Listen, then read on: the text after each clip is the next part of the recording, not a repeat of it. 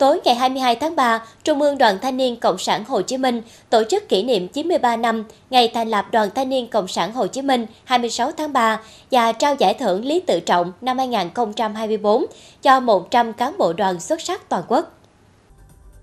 Giải thưởng Lý Tự Trọng là phần thưởng cao quý của Ban chấp hành Trung ương Đoàn Thanh niên Cộng sản Hồ Chí Minh, trao tặng cho Bí thư chi đoàn, Phó Bí thư, Bí thư đoàn cấp cơ sở, cán bộ đoàn trực tiếp làm công tác đoàn, phong trào thanh thiếu nhi ở các huyện có thành tích xuất sắc trong học tập, lao động, công tác, trong công tác đoàn và phong trào thanh thiếu nhi.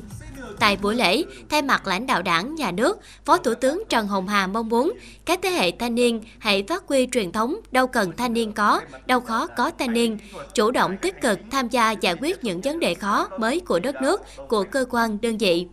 Mỗi đoàn viên thanh niên hãy làm tốt nhiệm vụ ở từng vị trí công tác, phát huy cao độ tinh thần tình nguyện, lan tỏa những giá trị văn hóa tốt đẹp của dân tộc, tinh thần vì cộng đồng.